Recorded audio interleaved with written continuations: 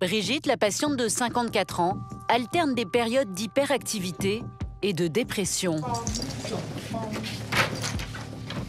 Je vous en prie.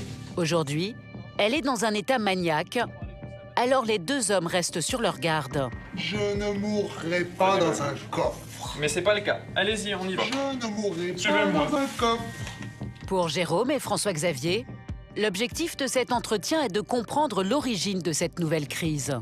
D'accord, mon pote Allez-y, je vous en prie, madame. S'il vous plaît. Vous êtes que des bébés. S'il vous plaît. Brigitte est en plein délire et l'échange s'annonce difficile.